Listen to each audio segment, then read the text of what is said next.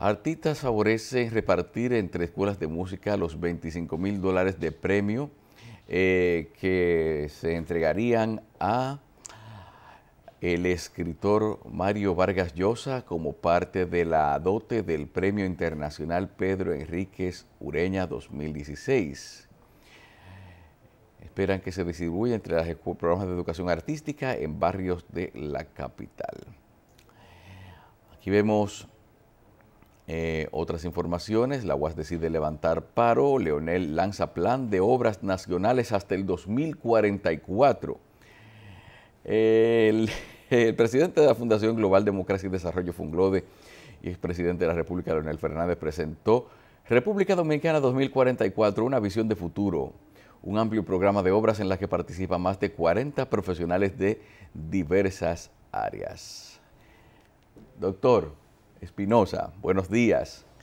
Buen día. Lo vio entonces el doctor Fernández, eh, pero él no está hablando de, no está hablando de reelección. Bueno, yo les dije a ustedes unos días en que iba a estar el presidente. ¿Usted recuerda? Sí. Que hablamos de un ciclo de conferencia y de la visión de la República Dominicana proyectada al bicentenario de la independencia nacional. Ah, sí, el bicentenario. Sí. Entonces, ahí está eh, el primer acto.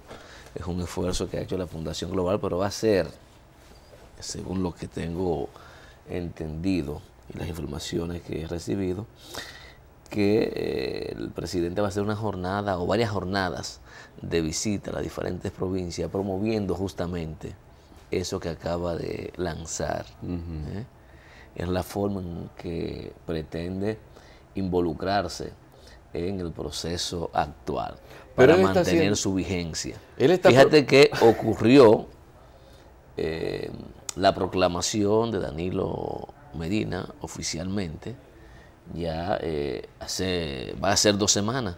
No se ha vuelto a saber del expresidente. Más allá de las reuniones en la comisión eh, política, donde está también obligado a participar. Pero no ha ido a un solo caravaneo hasta ahora. Es que yo no creo que él, yo particularmente desde mi punto de vista creo que el presidente, el expresidente Fernández como que subido en una caravana como que no, como que no, como que no es favorable. Quizás eh, eh, distraería un poco la atención de quién es el, candidato.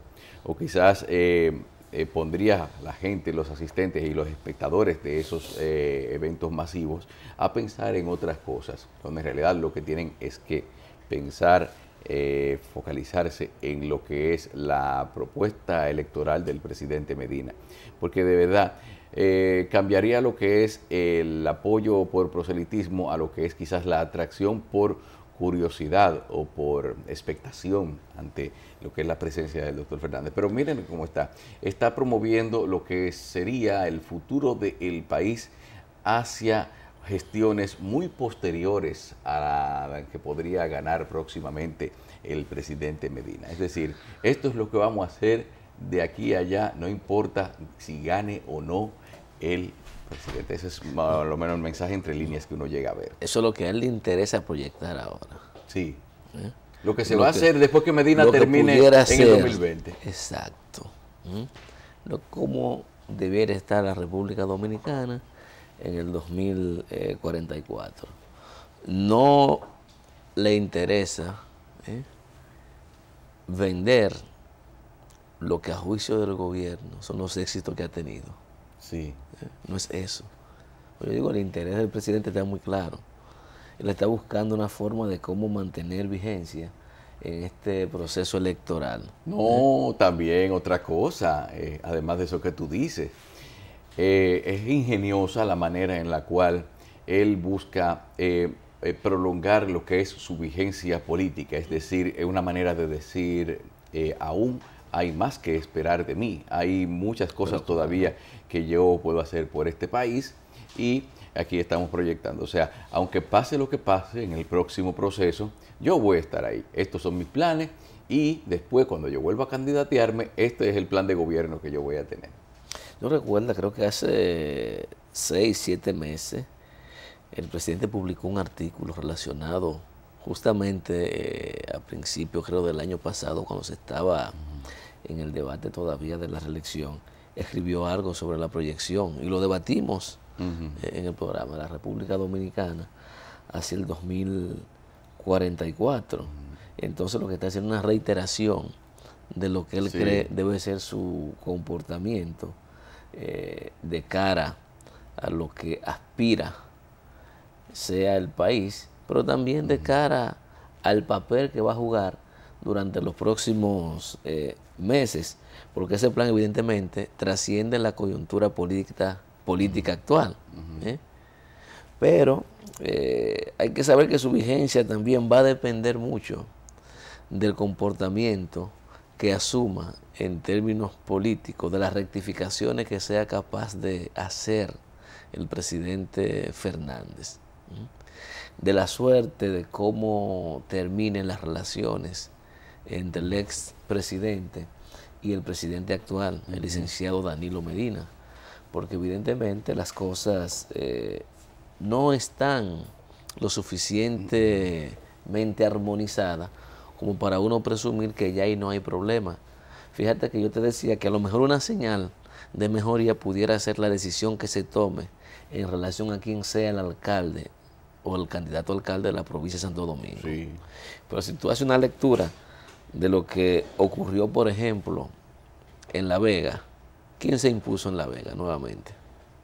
Ah, el, el, el que está, el que está y a quien responde, me dicen que es un hombre de la tendencia de Danilo Medina. Porque es claro que Bolívar Marte es un hombre de Leonel Fernández. Es un hombre de Leonel. Es un intento también de conquistarlo por el danilismo, pero no sé qué, qué pasó.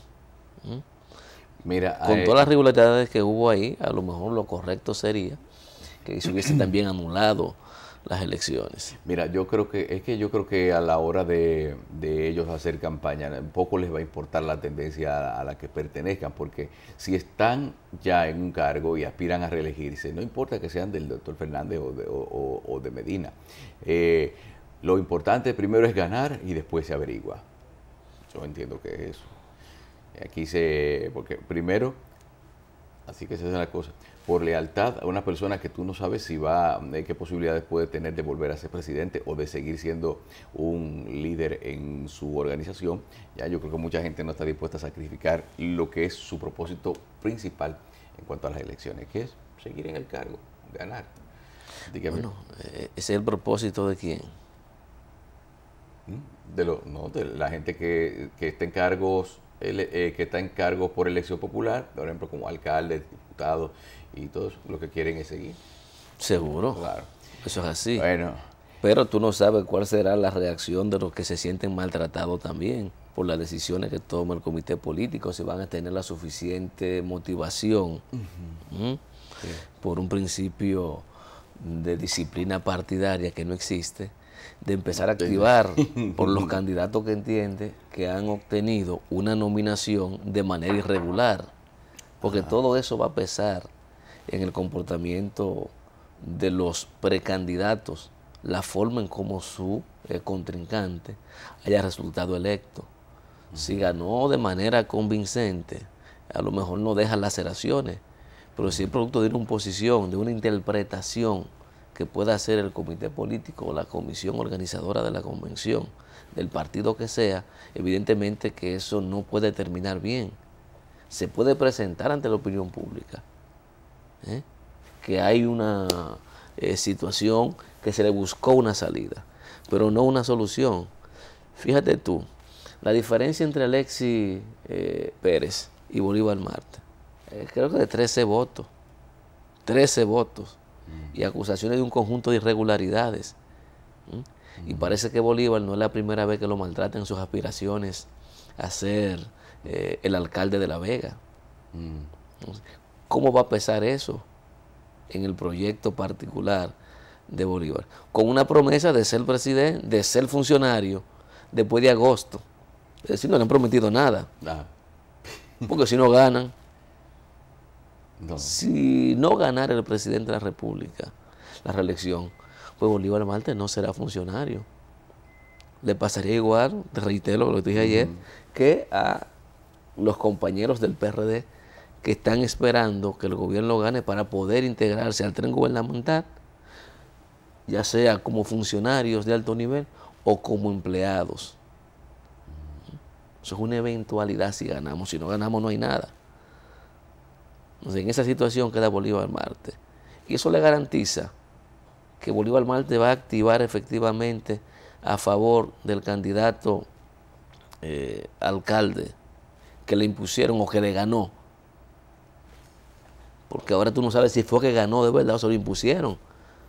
Hubo una impugnación y la salida no fue, eh, digamos, la más correcta de repetir, en ese caso, la convención, sino bajo algunos argumentos que tenía la comisión política. No, no. Mira, ven acá, Marte.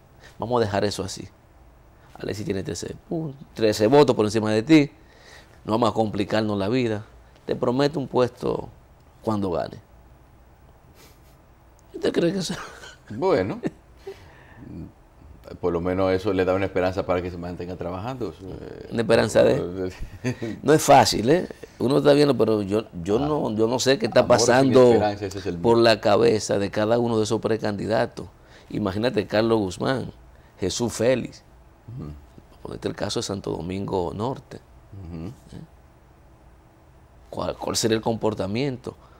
¿Estarán lo suficientemente motivados como para ir a buscar los votos para su compañero de partido? ¿O motivados para que su partido siga en el poder?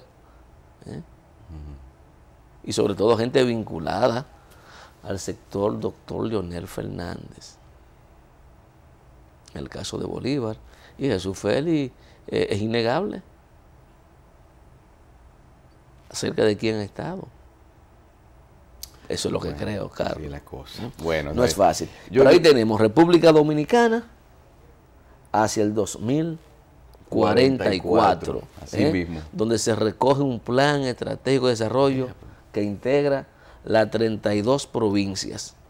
Eso implica que el presidente deberá recorrer, presidente Fernández, recorrer cada una de esas provincias en nombre de la Fundación Global para presentarle a los ciudadanos eh, cuáles son los planes que entiende deben ejecutarse de aquí al 44. Lógicamente, y las aspiraciones deben ser a que por lo menos una parte de esos planes lo ejecute él. Ajá. Por lo menos. Esa debe ser la aspiración, Carlos. Sí. Ok. Tú sabes que, mi información, la, información que compartimos no estaba tan lejos de la realidad. Ahí ya salió el plan. ¿Tú sabes cuántos años va a tener Leonel Fernández en el 44? 90. O sea que el hombre, eh, hay que ver dónde, hasta dónde, eh, parece que, ¿hasta cuándo hasta cuántos años fue que gobernó Balaguer? Hasta lo, pasó, 80 y pico. Sí, sí. Ok, Leonel Fernández está haciendo, mostrando los planes que tendría para cuando esté a esa edad, para los 90 años. Cuando, para, para el 2044 Leonel Fernández va a tener 90 años y quién sabe cuántas cosas más habrán pasado de aquí a allá. Bueno, Carlos, ya Guillermo Moreno ha sido presidente de aquí a allá también. Pues sí, muchas cosas pueden pasar. O que él no vuelva a ser presidente. Lo que sí estoy seguro Todo puede ocurrir. Lo que sí yo estoy seguro de que gran parte del comité político ya va a estar en Puerta del Cielo. ¿Eh? A lo mejor no. En Puerta del Cielo. A lo mejor no. Que no necesariamente tiene que ser en el cielo. A lo mejor bueno. se descubren la forma de la inmortalidad. Mira, y tú sabes una cosa, yo te estoy hablando de Puerta del Cielo. ¿Tú sabes por qué? Porque parte del cambio de estatus de algunos funcionarios incluyó el ir desde ya, mientras estuvieron ocupando sus funciones, ir sacando eh, su, haciendo su espacio donde tener hasta su descanso eterno, lo resolvieron. Yo vi un caso de un señor que después yo te voy a decir quién es. Vamos a ver entonces, no solamente eh, eh, decía, el descanso eterno suyo y de lo que se fueron antes. Hoy inicia entonces el paro de labores en los hospitales públicos. Ay, sí, sí. Bueno, muy lamentable que ya a partir de hoy el colegio médico eh, en medio de una situación de que de lo que se debería estar previniendo enfermedades, eh, llevando a cabo acciones. Además, esto es una cosa. Ya, sabemos un día sin salud es un día perdido para mucha gente. Déjame decir. pero ya, sabemos que es imprudente el llamado. Eso lo dijimos desde que inició la semana pasada con los paros escalonados. Eso está claro. Pero ya es una realidad que está. Ahora, ¿qué vamos a hacer? ¿Qué es lo que vamos a hacer? Seguir cada quien tratando de sacarle un beneficio electoral a esto, crear toda una estrategia para desprestigiar al sector salud, sobre todo a los médicos, seguirlo presentando como los malos, que es la, línea que estoy viendo en muchos medios. Ahí vi eh, un dirigente del PLD y funcionario de la presidencia, creo que estuvo por acá hace unos días, Leonardo Grisanti. ¿eh? sí. acusando a la oposición de ese paro. digo, si eso es lo que vamos a hacer ahora y a jugar al, cansancio de la gente, no tiene sentido. Yo creo que lo correcto sería lo que ha ocurrido con el paro en la UAS, que las partes se sienten y lleguen a algún acuerdo. Hay promesas, los profesores aspiran a que se les cumpla el 20% ahora y el 20% próximo en el semestre que habrá de, iniciar eh, cuando concluya este que no ha iniciado. Ese es un acuerdo. Y todo el mundo sabe que los médicos, ¿qué están pidiendo? Es básicamente el aumento salarial. Porque ellos saben que el gobierno no va a, a otorgar el 5% ni el 6%, es más ni el 3% para salud. Ya lo han dicho en más de una ocasión, que no hay recursos para eso. Aunque aquí cuando se quiera aparece recurso para todo, pero para salud no hay. Entonces, que las autoridades del Ministerio Público, que la dirigencia del colegio médico busquen un punto intermedio y solucionen esto. Que no tratemos lo que se consigue son puntos intermedios, porque aquí, aquí se, practica la artillería, de apuntar a un sitio para que caiga en otro. todo el mundo anda, por un lado, se está acabando con los médicos por la huelga, porque ellos son los culpables del paro, ellos son los responsables también de que el sistema de salud sea un desastre, tienen responsabilidad, pero no son los únicos responsables. La responsabilidad fundamental es del Estado de los diferentes gobiernos que nunca le han dado el tratamiento que amerita el sector salud. Y por más eh, publicidad que uno vea, lo cierto es que históricamente se ha invertido mucho en publicidad, pero poco en la salud realmente. Y las quejas están ahí permanentemente. Pero esto no puede ser una razón para seguir en lo mismo. Yo creo que esta sociedad y las personas que al final eh, suelen ser los más perjudicados, que son los usuarios de los servicios de salud, necesitan una solución. No es que ahora el gobierno se radicalice y empiece a acusar a la huelga médica de política electoral, o que la oposición empiece a usar también esa dirección para desprestigiar al gobierno. Yo creo que hay que pensar en, la sociedad dominicana, en esa gente que no tiene posibilidad de ir a una clínica privada, por las razones que sea, pero no la tiene, y que amerita no solo de la atención de emergencia, sino del seguimiento rutinario de su proceso de, de salud, y necesita la atención médica adecuada. Y en estas condiciones, pues no la va a tener. Y lo que vemos al momento es como que no hay intención de, sentarse a buscarle una salida a esta situación.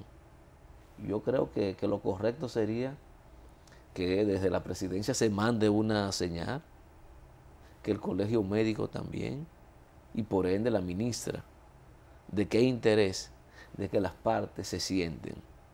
Y si no es posible eh, satisfacer todas las demandas, pues gradualmente Hacerlo de manera gradual. Pero que se vea el interés que hay de, De que, que las este, cosas mejoren, porque- de que este paro médico pues sencillamente pueda ser levantado. Y para eso no habría ni hay que esperar que inicie, ya inició No, hoy, y eso que- debió hacerse ayer. No, y además, no, y además hay que tomar en cuenta de que quizás no hubo un debido diálogo previo, porque realmente uno tiene que acudir a alguna táctica conciliatoria antes de llegar a ciertas medidas, eh, como por ejemplo la huelga. Bueno, todo el Eh. mundo sabe que cuando se llega a una huelga es recurso eh, máximo de las exigencias. Sí, pero En todas no las hubo ramas. un diálogo suficientemente amplio, no hubo una ronda de conversaciones, ni una propuesta, contrapropuesta, eh, ni una insistencia. Pero porque si es no que la hubo, hay huelga que es- hacerla. ¿Qué vamos a hacer? Que hagan el paro por 24 horas, que la próxima semana por 72 y la próxima por 36. ¿A qué estamos apostando? No.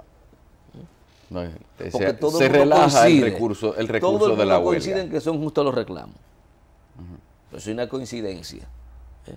Pero si reconocemos la justicia del reclamo, vamos entonces a buscarle el punto intermedio para satisfacer mínimamente alguna de las exigencias y no estar apostando al desprestigio de los médicos para sacarle entonces beneficio político. Porque lo que te presentan es los médicos, como dice Grisanti, son indolentes, insensibles. Yo creo que no es así. Tienen su, Pero tiene sus sus necesidades problemas, también. Es verdad que, un- oye, es verdad que para la labor que hace y para lo que deben eh, y para el papel social que tienen y la responsabilidad, los sueldos actuales de los médicos eh, en el sector público son bastante bajitos. es así. Tomando y ahora que están de moda las cumbres, pudiera ser una solución, convocar a todo el sector salud para discutir no solamente el problema salarial, sino el problema de la salud en la República Dominicana, que trasciende el problema del salario. Sí. Así Lo es. trasciende. Entonces eso pudiera ser una salida, Claro, una gran discusión transparente al respecto, ¿eh? donde se pongan a flor de piel todos los problemas que afectan este sector tan importante para la República Dominicana. Claro. Eh, Junior, hay algo que quiero mostrarte que eh, sería muy, es muy adecuada tu opinión en cuanto a esta situación de la cual te quiero hablar, que fue la de la prisión domiciliaria para, para el chino. Eh, el Ministerio Público va a apelar, yo no sé bajo qué predicamento, eh, le- ¿cuáles son las razones por las cuales se concede una prisión domiciliaria? en este Sobre todo caso, una persona como esta que Yo no ya entendí nada en tiene este riesgo caso. de fuga. Porque según dice la nota que envía la fiscalía, ¿eh? el argumento es que el señor Pascual, alias el chino, está padeciendo un problema de salud. Resulta, y reitero, que según el Ministerio Público no se aportó ningún elemento de prueba que indique la condición de este señor. ¿Cuáles pudieran ser? Bueno, un certificado médico eh, que puedes pedir al Instituto eh, Forense o, en su defecto, un certificado médico emitido por un médico eh, privado. Ninguno de esos elementos, dice la Fiscalía, que se presentaron.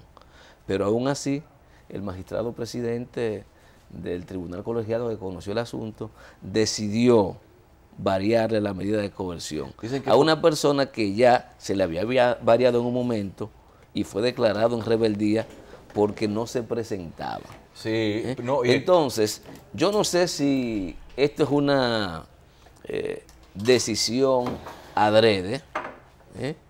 para seguir enfilando los cañones hacia el código, porque tú verás, habrá gente que van a tomar esto para seguir entrándole al código. El chino, doctor. para seguir entrándole al código. ¿Sabes que, que yo, que yo vine, entré al set para preguntarte eso? Cuando un juez va a dar una sentencia, no debe pensar en el que dirán. Claro si no. debe dar su sentencia. Pero hay, hay sentencias que tienen que tener un poquitico de cuidado La- la con la opinión pública. doctor. Eso no procedía bajo ninguna forma, porque eso le van a caer. En este momento, esa sentencia de ese tipo, de esa, de ese señor, prisión eso va a domiciliaria. traer demasiado problema y demasiado ruido. Pero yo digo, déjame preguntarle al doctor, porque a lo mejor lo importante es los argumentos que se usaron para... Lo que pasa es que eh, uno no tiene a mano la resolución. Lo que tenemos es la versión que ha dado la fiscalía. es la única cosa. No, no, no, es porque él está supuestamente enfermo. Nos dicen Pero que dice por la una fiscalía. apreciación visual Exacto. del aspecto eh, de salud de que tenía. Pero un juez no es médico, ni No, tiene no, eso es una posibilidad de un situación dictamen, suma- por eso ni te se digo. asistió de un perito para tomar esa decisión tampoco. que yo no sé qué es lo que se persigue con esta decisión. ¿m? En un momento en que la justicia está cuestionada de arriba abajo, en un momento en el que el presidente de la Suprema inclusive ha estado planteando la necesidad de modificar el Código Procesal Penal, en un momento en que muchos sectores sociales entienden que el código es el responsable de todos los problemas de delincuencia que ocurren en la República Dominicana, porque por ejemplo prevé situaciones como esa, la variación de las medidas de coerción. Yo digo, el problema no es la variación, ahí el problema es el actor, el juez encargado, que debe tener la suficiente madurez e inteligencia para saber cuándo procede o no procede una variación de medida de coerción. Y cuando en un caso como este, ¿eh?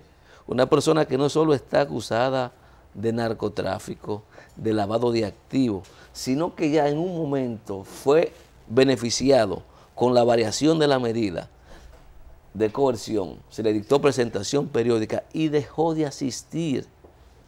Tiene ya antecedentes de que no cumple, que lo único que le garantiza al sistema que no se va a sustraer del proceso es su mantenimiento en prisión, revisándolo a cada cierto tiempo. Pues hay un, un primer paso. Y sobre todo, cuando dice la fiscalía que la decisión se toma por una apreciación visual del juez, yo no había visto eso. Señores, la condición de salud la acredita un certificado médico. Para mí, para mí, es una sentencia que huele a cuarto. Punto. Huele a dinero por todas partes. Que me perdonen los señores magistrados, Oh, pero eso no tiene otra justificación. Ellos tenían que coger eso y decir, ¿por qué no hacen? Tú ves deteriorar al paciente.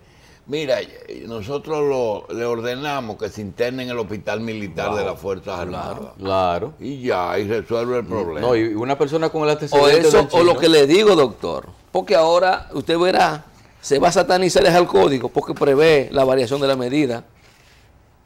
Porque hay una línea también de seguridad no, el juez digo, no procedió correctamente. Ojalá y prospere la apelación de Jenny Berenice en ese yo- asunto. yo- porque- ojalá.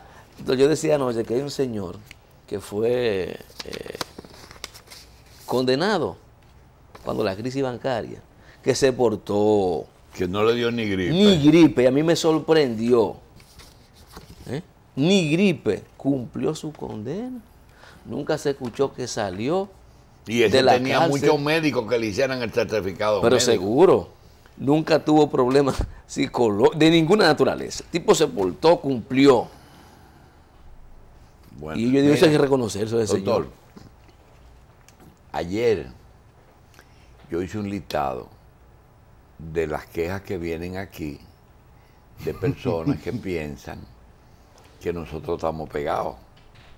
Hice un listado. Hoy yo hice tres listados, voy a leer. ¿Nuevo? Sí, hoy hice uno, voy a leer el de los patrocinadores de por vida de la revista, la gente que siempre nos han apoyado en publicidad. ¿Esté pegado o no? El- Entonces el primero fue de las quejas.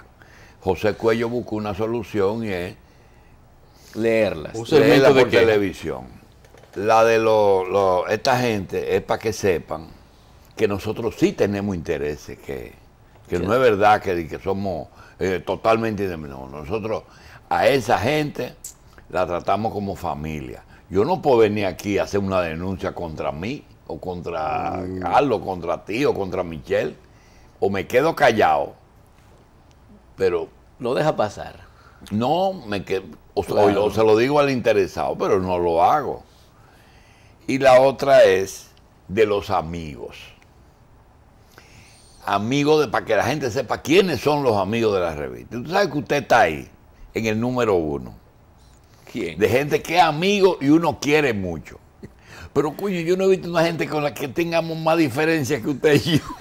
Eso es parte de la diversidad. De forma y de fondo. Eso es parte de la diversidad. Doctor, nosotros no tenemos diferencia con el método, con el con los problemas de salud. Yo he Claro, dicho aquí, claro. no, yo he dicho aquí que la salud de aquí ha sido un fracaso. Pero el método de lucha del loco de mierda ese es lo que yo dije. Ese no es una forma de luchar por la salud de un pueblo, porque ese es un loquito. Yo tenía hasta el día que estuvo aquí la esperanza de que él le diera síndrome. No es por el fondo, es por la forma. Él no tiene forma, porque esa no es la forma de luchar por un problema tan serio. Lo primero es una hue- ¿Y cómo es posible que tú vayas a conversar con una gente y lo primero que le dé una trompa? Así. Vamos a hablar, pan, entonces vamos a comenzar. Así no se hace, así no es la vida.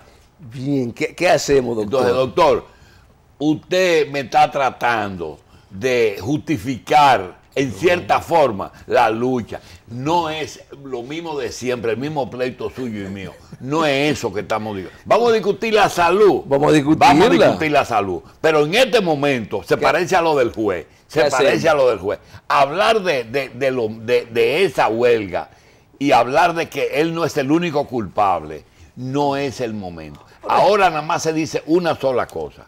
Una sola cosa. El método es un disparate. Eso hemos dicho que es incorrecto, que es imprudente. No, no, esa es una palabra demasiado buena. Bueno, doctor, Es es, una que palabra el dema- método tú eres en demasiado ningún decente, momento, tú eres en demasiado ningún decente. momento, no solamente ese método, en, en ningún momento el método de lucha de las huelgas ha sido reconocido. Y yo en te voy a ningún decir una cosa. Yo, creo que Y yo te voy a perdóname, yo te voy a decir una cosa. Tú sabes que yo tengo muchísima aprensión sobre cosas que me pasan por la mente. Y yo digo, caramba, cuando uno tiene un medio de comunicación, tiene que tener mucho cuidado. Mira, me, ha pasado con el, con, el terrorismo y me está pasando con Donald Trump. ¿Qué me está pasando? ¿Qué me pasó con el terrorismo? Y yo he pensado, cuando en el pasado existía un instrumento que se ponían los jinetes, que era la espuela. Una estrella de puya que clavaban en el vientre de, de la yegua o del caballo para encabritarlo y mandarse corriendo. Y eso ponía el caballo a correr, aunque tuviera hambre, aunque tuviera famélico, lo que sea. Desde que lo clavaban se mandaba.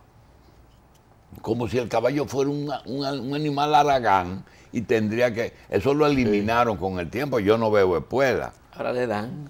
Ah, bueno, pero por lo menos no, No, no le... no le- porque mira, perforaban la piel, perforaba, ¿eh? claro que perforaban sí. la Ya- piel. ya y hacían callo ahí. Ya el caballo, desde que siente que agitan el fuerte se manda. Y yo comparaba eso con algunos pueblos que no tenían más salida, no tenían más salida frente a ciertos gobiernos. La única forma que había era coger para la avenida George Washington y caerle a tiro a Trujillo, porque no había forma de salir de él. Claro. Tú oye, no había forma de salir de él. Y a veces yo me decía, coño, pero yo le estoy deseando la muerte a alguien. Ese hombre me vive matando todos los días a mí, a mi familia y a un país, a un pueblo. Y cuando yo veo cómo estas grandes potencias van y explotan, Ese es su método. ¿eh? y explotan esos pueblos, y esos pueblos arrancan para Europa y van y le arman un lío allá. Digo, pues, esos pueblos tienen razón. Yo estoy justificando a los islámicos y tengo que darme golpe en el pecho y pensar que eso no es así. Entonces, lo de Donald Trump, me pongo en el lugar de los americanos, me pongo en el sitio de los americanos no, no pienso como él, ¿eh? me pongo en el lugar de los americanos, vuelvo y repito. Digo, "¿Cómo? Nosotros tenemos una nación que es la más grande del mundo y hay derecho que tú el que tenga un problema en su país, porque sus gobiernos no han sido pos- eh, capaces de resolverle los problemas, arranquen para Estados Unidos a dañar esa sociedad. Una sociedad que, que inventó la democracia, que son perfectos. No para dañarla, sino para trastornarla también. Eso. Pero el hombre viene y dice, el hombre viene, es un loco. Sí, pero dice, Estados Unidos tuviera mejor si los gobiernos de nosotros no se hubieran metido en Medio Oriente a meter la nariz ahí, a clavar, porque cogieron el, se pusieron espuela y fueron a, a clavar esos pueblos para cogerle sus, sus riquezas y para hacer la guerra. Entonces, yo te voy a decir una cosa, hay que siempre tratar de buscar un punto medio y saber en un momento dado qué es lo que uno de. Ahora mismo, ayer yo oí unas declaraciones que yo jamás pensé que la iba a escuchar en República Dominicana. Un estudiante llamándole la atención a los profesores de la UAS. Para que ¿Y tú sabes lo que le dijo? Si ustedes quieren aumento, gánenselo. El estudiante, eso cambió totalmente mi, mi muñeco. En, una universidad donde le daba vergüenza al, al estudiante decir que el principal, el, la- el centro de ese lugar es el Son estudiante, no es el profesor ni es, ni es el, ni es el claustro, es el estudiante. No el pobre muchacho que el papá no le puede pagar. No, esa es otra vaina. Eso es otra cosa. Porque aquí creen que la pobreza es el, el, el- el non plus ultra de la, de, de- de la sociedad. No. Es el que está, no tiene oportunidad. Y esa es la oportunidad, la universidad. Es una forma de. Entonces no se la niegue, señor profesor por ahí. Pero yo te voy a decir, a veces tengo mucha confusión, doctor. Y con respecto a la AMD, este no es el momento de discutir la- las motivaciones que tuvo Waldo Suero para luchar, ¿eh?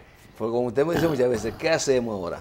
¿El qué? En este Decirle momento. a ese muchacho de mierda que deje esa forma, de- que, que haga, un, que haga un planteamiento serio antes de hacer una huelga. Serio, que no lo ha hecho, doctor. ¿eh? Bien, que no usted- lo ha hecho. ¿eh? Fíjese que he planteado la necesidad Ayer de fue la primera vez que dijo, ayer, ayer, después de un mes de, de cosas, que los hospitales están en mal. Eso era lo primero que tenía que, que la seguridad social no funcionó, que los, cuál es su, su posición frente a los autos. Invitar a los medios a un hospital para mostrarle cómo está la cosa. Y, y todo eso. decirle, y decirle, no, yo quiero ver al presidente, no, ningún presidente.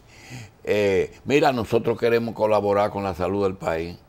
Tenemos unos puntos aquí que queremos discutir contigo. A la ministra, pero queremos discutirlo en público, para que no me vengan con cuentos. Y vamos a hablar del presupuesto. Vamos a hablar del presupuesto, que es un problema presupuestario. También hablamos del presupuesto. Es decir, le faltó el proceso de interesar a la gente por la justeza de la ¿Tú, causa. crees, tú eh, crees que el PLD va a resistir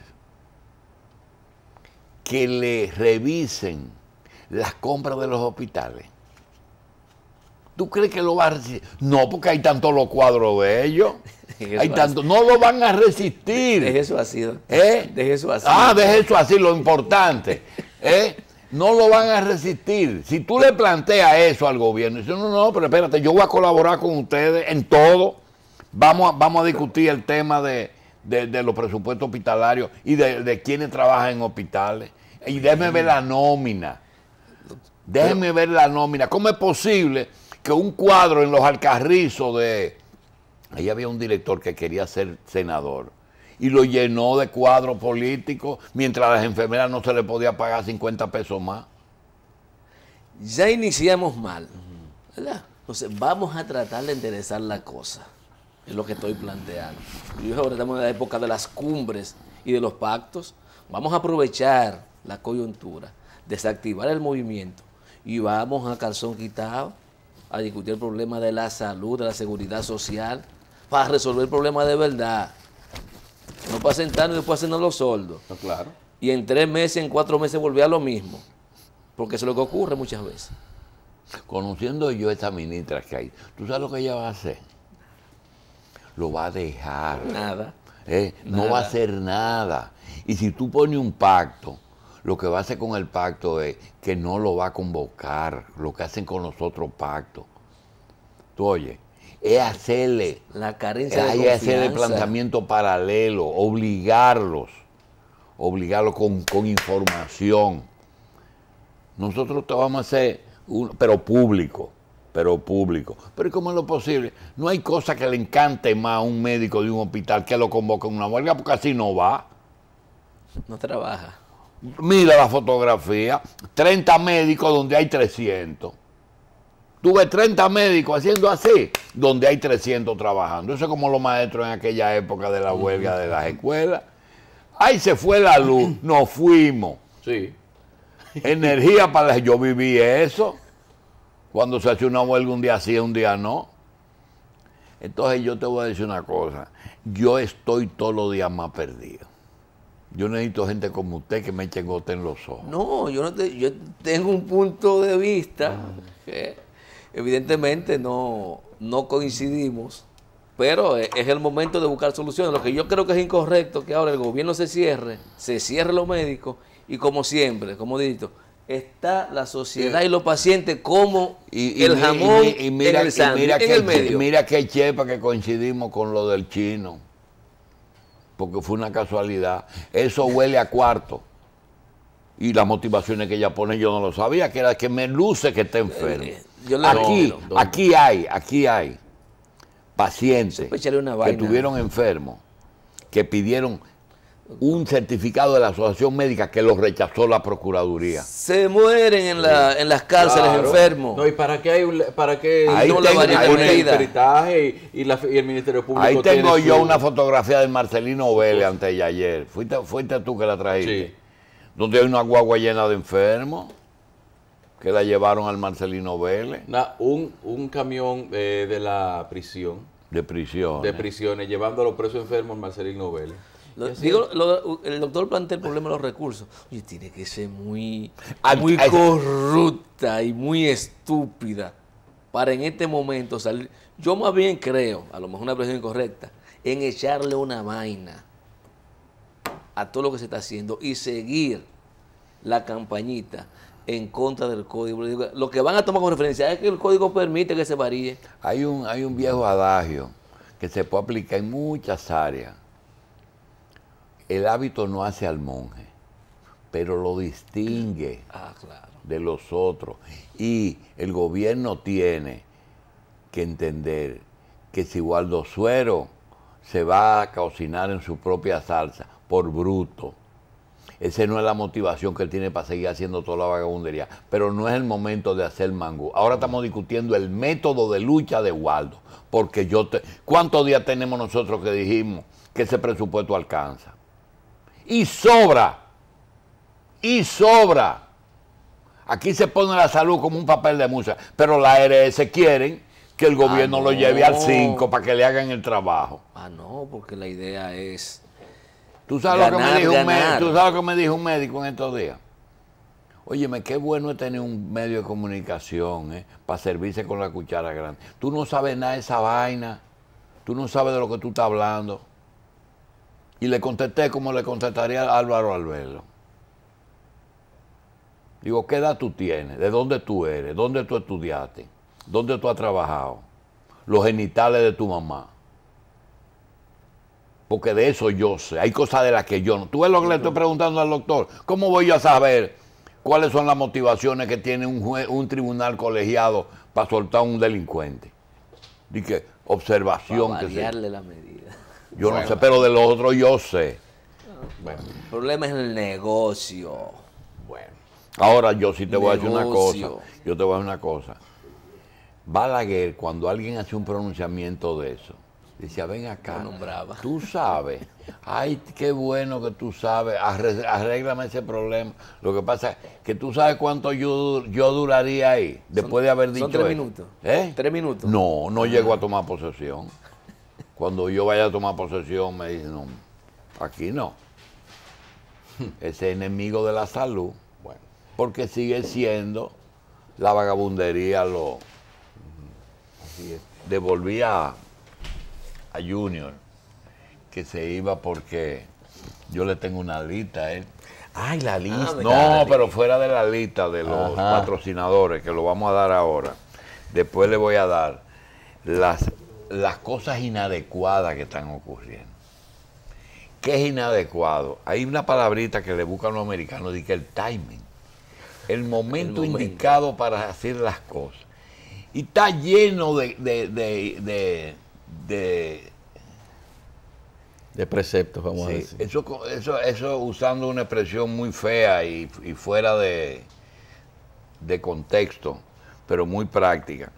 Y es, tú sabes que todos los seres humanos tien- estamos obligados a hacer necesidades fisiológicas. Y somos esclavos de nuestra fisiología. Tú no puedes evitarlo, ¿verdad que no? No, no. Pero tú no lo puedes hacer fuera del cajón. Todo, eh, buena ilustración de todo tiene su momento, y su lugar. lugar. Y su, su tiempo y su lugar. El lugar es adentro del cajón, en privado. en privado. Y hay, y hay una serie de cosas que yo le tengo al doctor y se la vamos a mencionar ahora antes que llegue el gurú de la medicina. Porque el gurú a veces no está de acuerdo conmigo.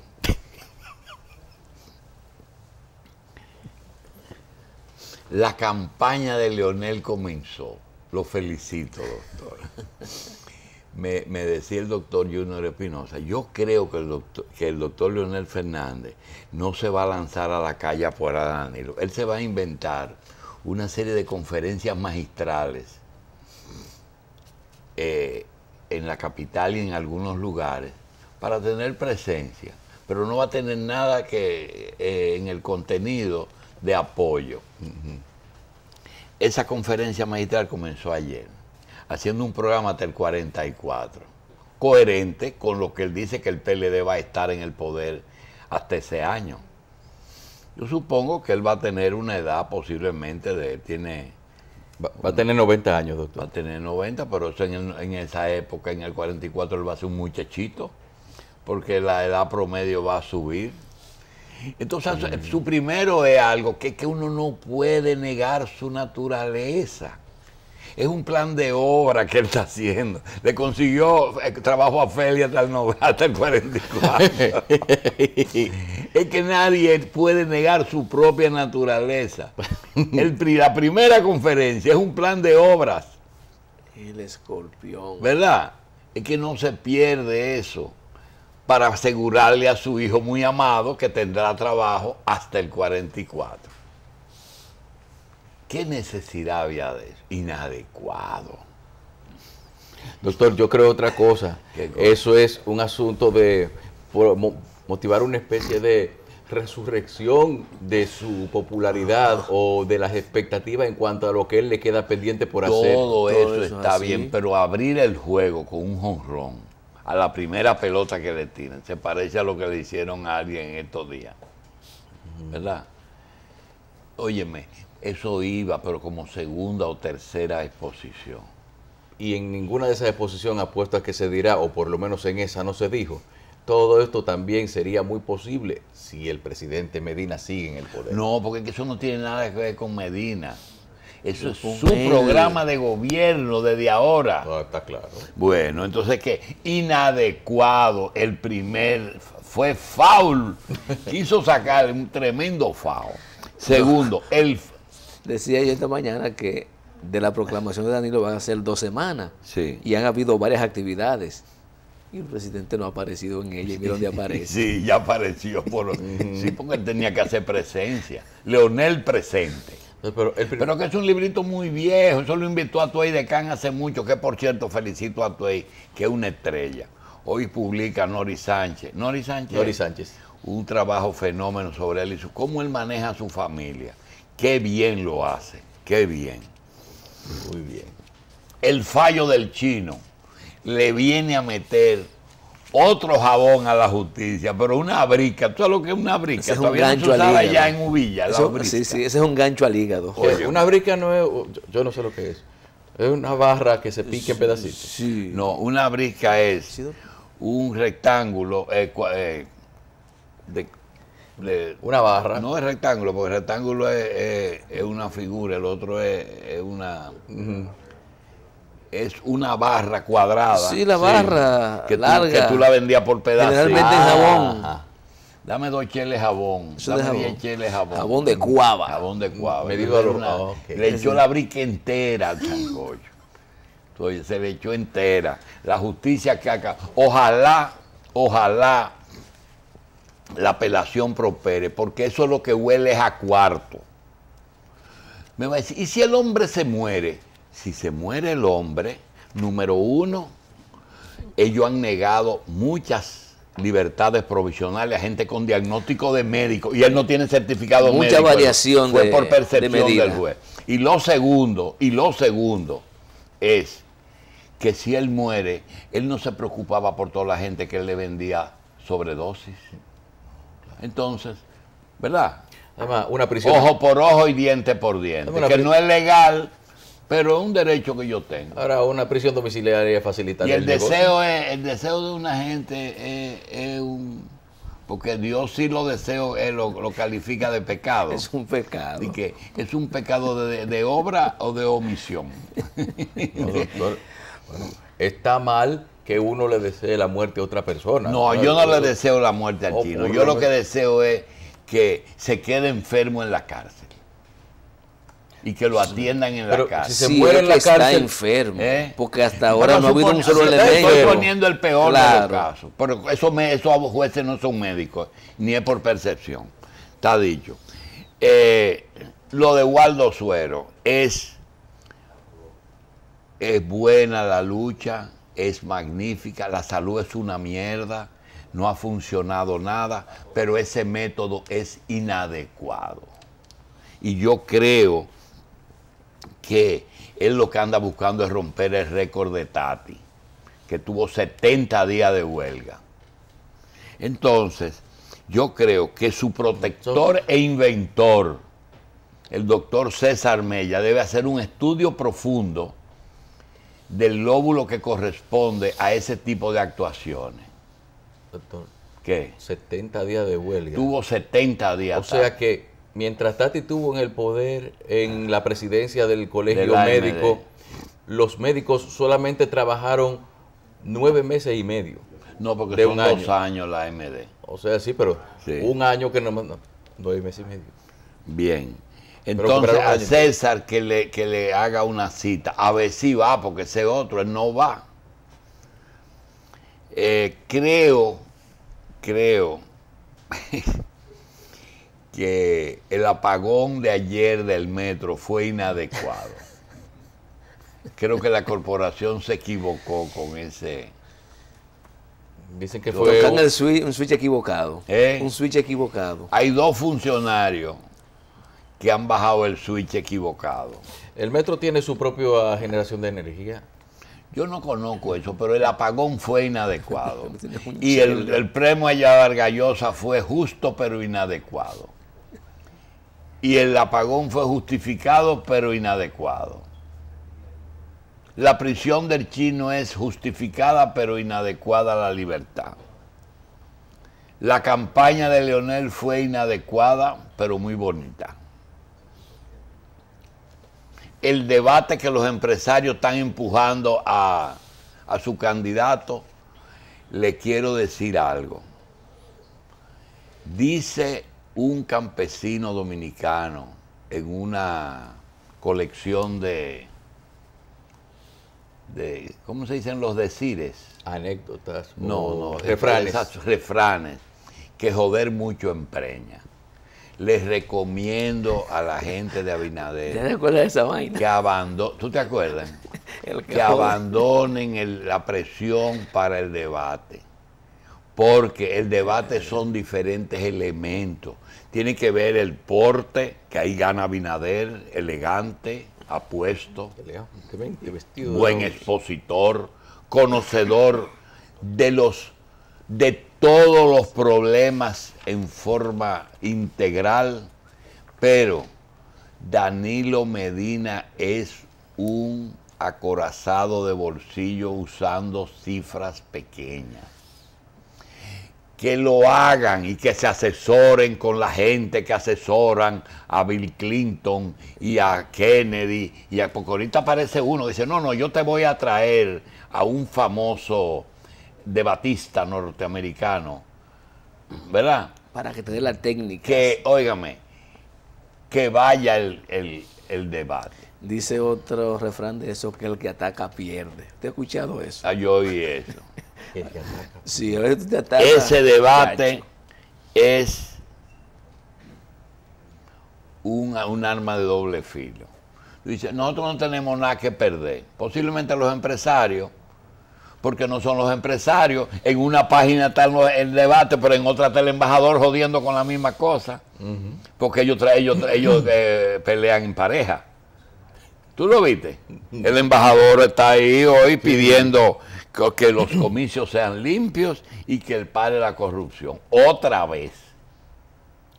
Porque ellos pelean en... Dilo tú allí que yo lo voy a decir aquí. ¿Verdad? Que sigan bien, que van bien por ahí. ¿Verdad? Lo de la UAS, los profesores tienen derecho, pero inadecuado. La respuesta que le dieron los estudiantes se la buscaron. Ustedes quieren aumento, gánense el aumento. Acumplan con el horario y prepárense. Esa fue la palabrita que más me sorprendió. Prepárense para dar clase. Eh, ayer hubo una reunión sin importancia, pero muy eh, con muy buenos fines, pero inadecuado. Un acuerdo de que para desarrollar el béisbol en Haití. Coño, eh, ven acá. Pero si Haití no ha manifestado ningún interés de desarrollar, Haití lo que le interesa es desarrollar el fútbol. Si hicieran un trabajo para que República Dominicana desarrolle el fútbol, está bien, que yo no estoy de acuerdo. Esa es mi diferencia Pero con ya hay una tendencia y, y- ya hay una tendencia y vamos a decir que ya se ha despertado un interés. Ahí Es que. Haití es una, eh, eh, en ese asunto no es de los peores, es de los mejores países de América en fútbol. Entonces, ¿qué carajo es lo que quieren? Que los cuarticos que no están entrando a los peloteros de aquí se, se pongan a jugar a, a los haitianos para que también se lleven esos cuartos. Porque eso es lo que está en el fondo. Ah, en el fondo. O pero seguro sí. Una de las principales fuentes de ingresos que tiene República Dominicana son los bonos de sus peloteros. Ahora van a desarrollarlo para que los bonos se los den a la gente de allá.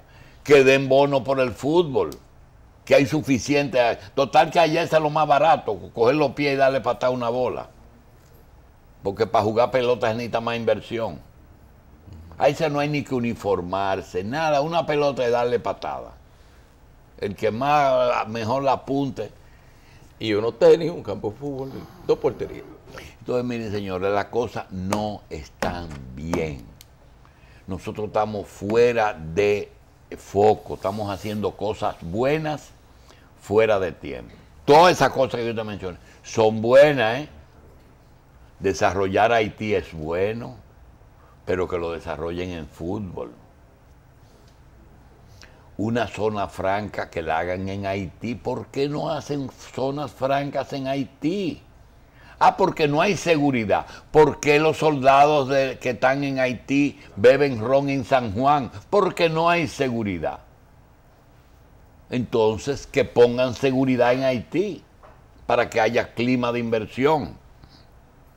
En la UAS, no pidan aumento después de aprobarse el presupuesto. Comiencen a luchar por un presupuesto adecuado para el año próximo, haciendo lo que le dicen los estudiantes, que eso sí son los que le ponen la nota a los profesores. Pero ese profesor viene aquí, lo que hace es que, que firma la asistencia y se va. Y el BEDEL le pone presente en cuatro horas y nada más a la primera hora que él viene. Porque eso sí saben. El profesor no viene, pero cobró. Además, él dijo una cosa y yo no entendí lo que dijo. Ese hombre no sabe lo que está manejando. Vargas Llosa, ¿cómo uno va a un premio Nobel de la, de la literatura mundial de negarle un premio? Pero por lo que escribió En este momento no procedía eso, pero es muy eh, nadie mejor que él. Además hay otra cosa, señor, él no, él no postuló, él no vino aquí a solicitar esa vaina. Que aproveche el gobierno y que aproveche y vote al ministro de, esa- de, de Cultura. cultura y ahí pone otro PLDista a dirigir eso, ¿verdad? Claro. Bueno, el debate, el debate, que sigan luchando por el debate, pero que tengan cuidado, que a lo mejor no sube. Dice, no, pero en ese eh, debate lo único que podemos hacer es subir. Puede que baje, puede que baje. Y no hay cosas que uno las propone sin la esperanza de que la persona a quien se la está proponiendo la acepte. No, lo que pasa es que van a hacer un debate.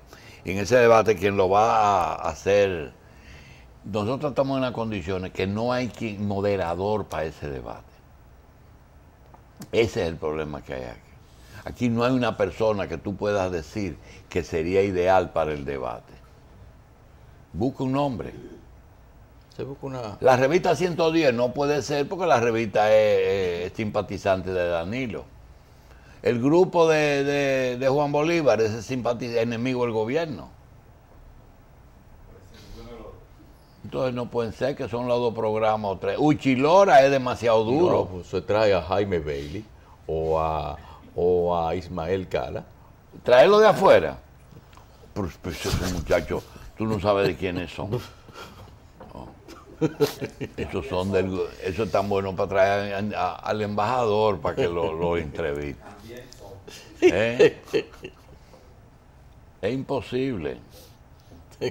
Ese debate, ¿quién lo puede dirigir aquí ahora mismo? Agripino. Agripino. Campo de Moya, aunque esté ahí pidiendo el debate. ¿Eh? Ay, le dieron un tablazo a Juan Vicini. hoy. ¿Qué pasó? Eh, está- eh, eh, el Robertico Salcedo tiene más votos que el madrugador. Que el, El emprendedor, Emprendedor. se lo madruga. Pero por mucho. Y yo que pensaba que, que, que Collado lo iba a sacar de ahí. Porque yo, yo no sé quién es, pero yo estoy con el otro. y gana Roberto. Ayer se inventó un nuevo muñeco. Ahora tiene al, al Roba la la gallina. gallina. Él vive inventando vaina monstruosa. Cosa más fea del mundo. ¿Eh? Él gana como quiera porque tiene una suerte única. Eso cuesta un dinero.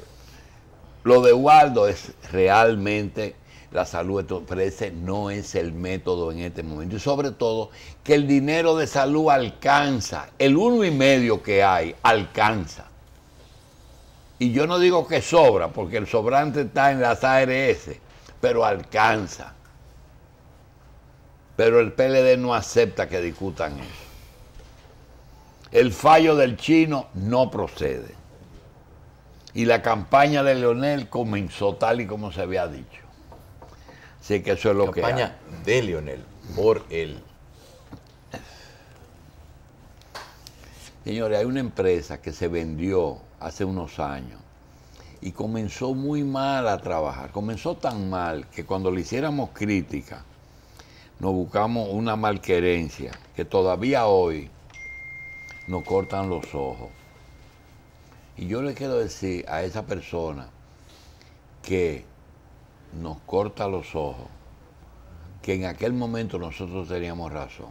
Ni la empresa tenía interés de aumentar su inversión, ni el gerente estaba en lo que tenía que estar. El gerente se casó, se formalizó y la empresa comenzó a invertir y hoy, claro, es una empresa modelo. Felicito al señor Slim y a su representante local porque se enderezaron. ¿Qué tú No le gustó, pero está muy bien claro. Acaban de anunciar más inversión en el día de hoy. Señores, estamos llegando a los días finales de la gobernación más brillante que ha tenido el país. ¿Cómo es que se llama el americano que dirigió la Reserva Federal? Eh, Alan Greenspan. Alan Greenspan. El Alan Greenspan de nosotros termina eh, este año, al final de este año, en su gestión en el Banco Central. Eh, Héctor Valdés, si gana el PRD, todo el mundo sabe que él no es santo de la devoción de ese partido. Si Leonel, si Leonel va al poder con el tablazo que él le dio del, del, déficit fiscal. del déficit fiscal, tampoco va.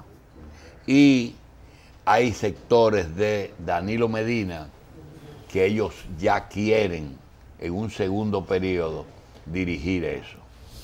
Acuérdese que en la gurú de Alan Grisman fue que se gestó toda la crisis financiera y inmobiliaria. Bueno, aparecerán algunas cosas. Aparecerán algunas cosas. ¿Verdad? Vamos entonces a hacer una pequeña pausa, porque llegó no el gurú de la de la del Banco Central, sino de la medicina. Mañana me da la otra lista. Aquí tenemos. Ah, no, yo la tengo aquí, te la voy a leer. La lista, doctor. Eh, no, nos la vamos a dar. Espera. Revista 110 no tiene ningún tipo de... No, nosotros no podemos decir, nosotros no tenemos compromiso. Nosotros sí tenemos compromiso. Lo decimos como dijimos que salimos del closet. ¿Verdad? que se pongan bravitos, nosotros tenemos compromiso. Nosotros tenemos personas que desde que salimos el 18 de marzo del 87 nos han dado apoyo. Y todo esto que está aquí es producto de ese apoyo, en un momento o en otro. ¿Quiénes son? Son nuestros patrocinadores, que tienen nombre, apellido y apodo por ejemplo, el más viejo es Radio Centro, el más antiguo. ¿Tú sabes quién le sigue? Los muchachos. Calzados los muchachos. Hubo tres anunciantes que llegaron juntos. Los muchachos, Radio Centro y Manuel Dicló, el de Madre Tierra. ¿Tú oyes?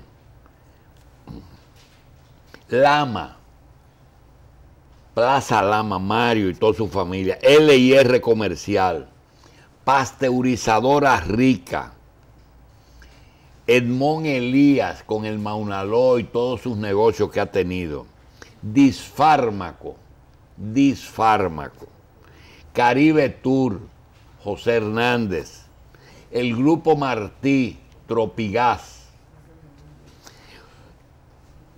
Pepín Corripio el grupo Corripio y el grupo Bikini desde cuando Yani. No ahora con Juan, desde cuando Yani. ¿Qué me dice él?